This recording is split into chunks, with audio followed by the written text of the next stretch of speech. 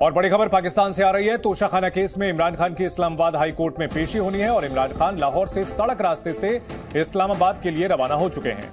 इमरान के काफिले के साथ बड़ी संख्या में उनके समर्थक भी जुट रहे हैं। जगह जगह उनका स्वागत किया जा रहा है। इस बीच उनके काफिले की तीन गाड़ियों के आपस में टकराने की खबर आ रही है। इमरान खान की गाड़ी काफ़ी आगे निकल चुकी है और कई गाड़ियाँ पीछे रह गई हैं। उधर इस्लामाबाद में पुलिस पीटीआई समर्थकों को हिरासत में लेकर उन्हें हटाने की कवायद में लगी है। दो तस्वीरें। इमरान खान इस्लामाबाद के लिए रवाना और इस दौरान तीन गाड़ियाँ आपस में टकरा गई हैं। एक गाड़ी पलट गई है, आप तस्वीरों में देख सकते हैं।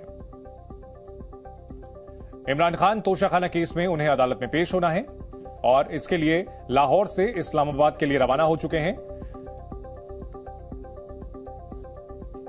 कुछ दिनों पहले जिस तरह से लाहौर में घमासान हुआ था, सुरक्षा बलों और इमरान खान के समर्थकों के बीच, उसे देखते हुए आज पहले ही इस्लामाबाद में पीटीआई समर्थकों को हटाया जा रहा है। पुलिस उन्हें हिरासत में ले रही है।